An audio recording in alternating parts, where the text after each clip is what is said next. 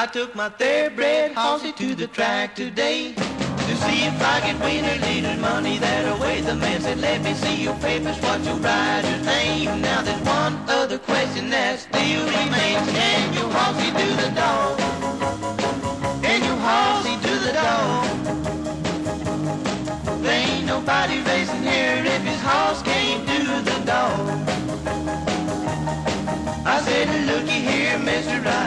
Long way. He said, I don't care, go back the same way. Any horse that runs here's gotta feel like a man. If he can't do the dog, he can't run with his plan. Can you horse do the dog?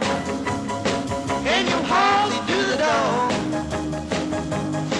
There ain't nobody racing here